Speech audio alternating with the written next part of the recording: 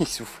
C'est trop petites mains pour ce gros euh, gros animal. Je commence à en avoir un peu marre. Alors ce que j'ai dans les mains, là c'est le plus gros crapaud du monde. C'est l'espèce Rhinella marina. Ce sont des crapauds d'Amérique centrale et d'Amérique latine, tropicale. Ça se voit je pense. Et alors il existe une centaine d'espèces de Rhinella, comme celui-ci par exemple, mais celle-là c'est vraiment la plus grosse. Et alors les plus gros spécimens, ils font quasiment 2,50 kg. Et sincèrement ça m'étonne pas. D'ailleurs on va s'amuser à le peser celui-là. Allez c'est parti. Il a 1 kg 100 grammes celui-ci. Alors est-ce que vous pouvez imaginer la taille des plus gros et le poids quand on dépasse les 2,5 kg